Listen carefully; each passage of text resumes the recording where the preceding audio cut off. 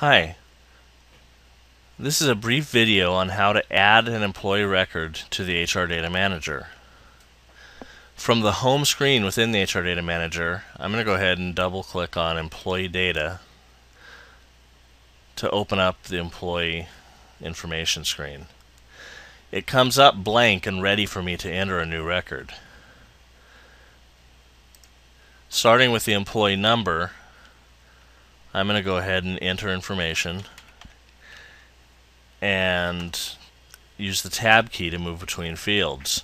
If you don't have an employee number, that isn't an optional field, uh, as many of them are. The main fields that are required are that you at least have uh, first name, last name, and social security number.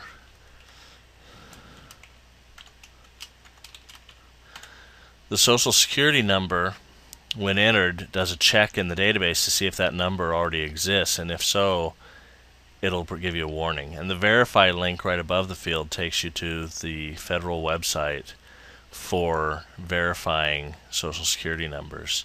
For users outside the United States, this feature can be customized in the preferences to reflect what's appropriate for your regional needs.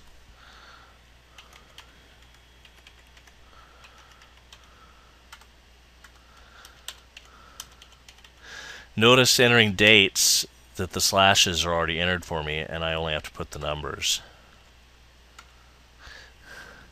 Drop downs allow me to enter the first letter and it attempts to find the entry that I'm looking for.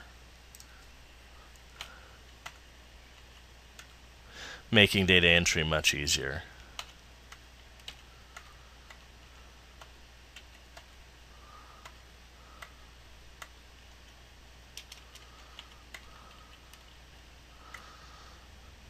Company, division, and location are optional fields that can be defined to narrow down reporting needs if your organization so desires. The employee's date of hire and termination dates are tracked within the employee service history, which you can see below. This allows you to have a full history of any previous employments that the, the individuals had with your organization.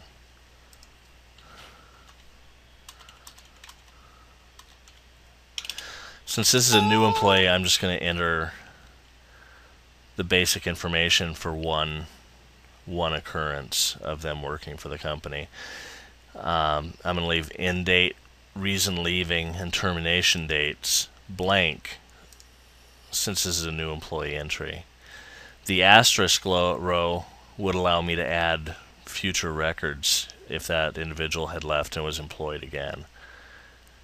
I can add a photo by pressing the add photo button and then browsing to the folder where my photos are stored and selecting the appropriate employee. I-9 information can be defined including what documentation was provided and expiration date if appropriate. ADA disability information for reasonable accommodations and union information if needed.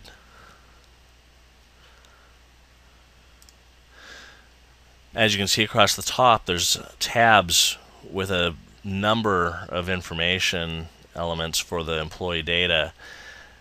We're not going to get into each one of these right now, as some of them will be covered separately in a different video. But I want to at least show you uh, the general tab, which we've just gone through, and employee position and compensation information, as those are key to the employee record. I'm going to go ahead and select a job title for the new employee and notice as I select that it create, automatically creates another row. This is because this provides a means for historic information should that person change roles within the company at a later date.